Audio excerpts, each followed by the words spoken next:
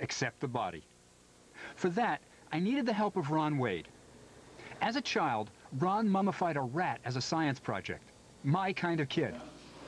Today, as director of Maryland State Anatomy Board, he provides surgeons with cadavers to work out life-saving procedures. Not only did I get the body, I got something far more important. Ron is a co-worker. But no one had done anything like this in 2,000 years, and neither of us were sure it would work.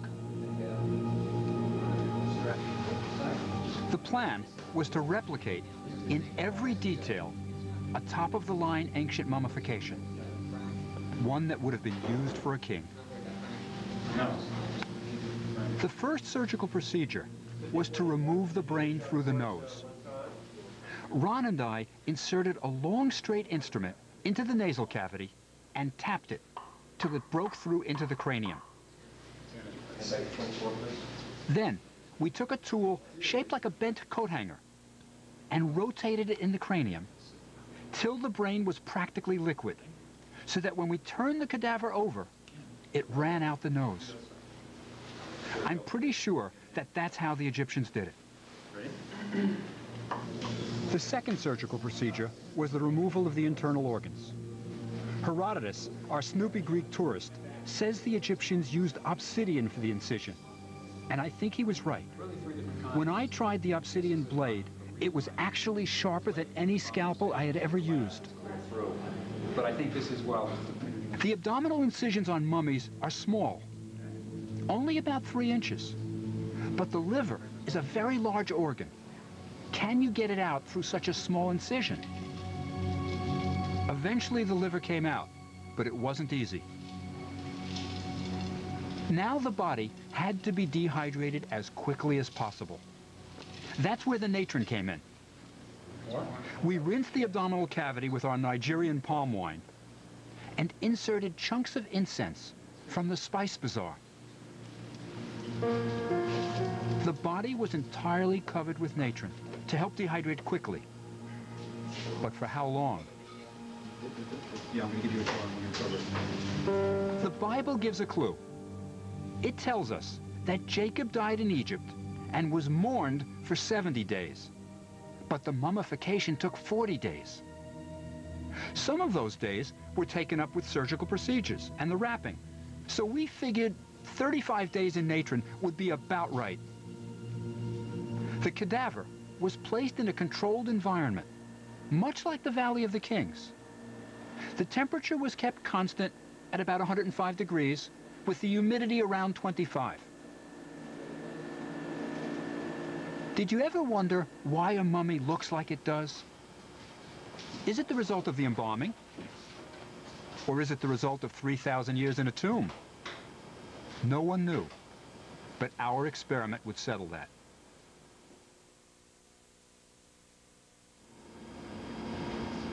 When we returned and began removing the natron, which had caked solid, the mummy's hand emerged first.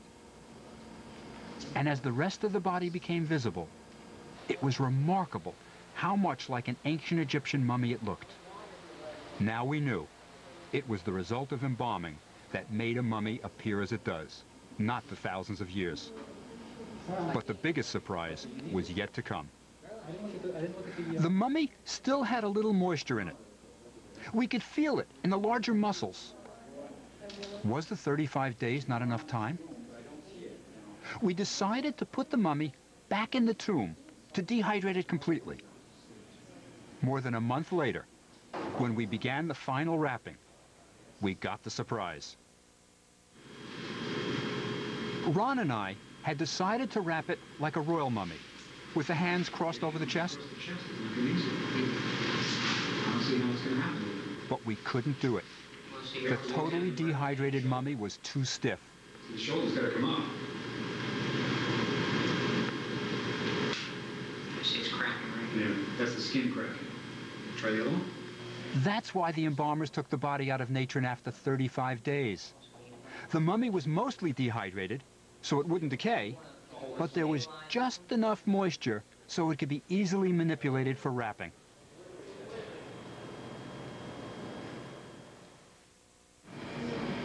While we were doing it, it was more a surgical procedure. We weren't emotionally involved, we were just doing the job. But seeing the mummy and seeing that it really looked like a mummy, that was really quite something.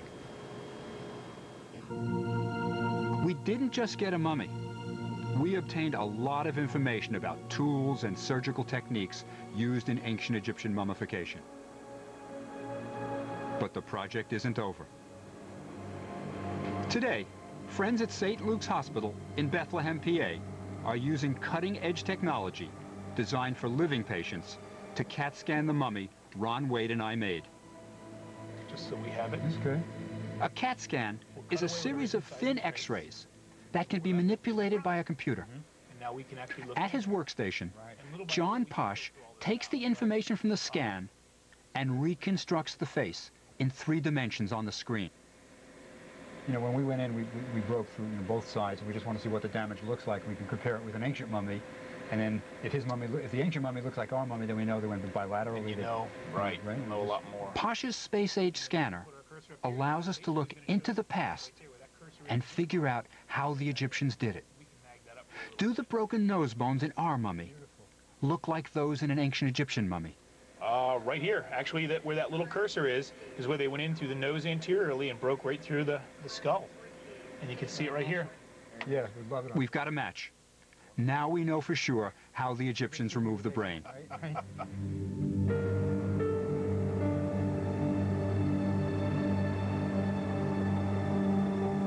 This is just the beginning of scientific studies on our mummy.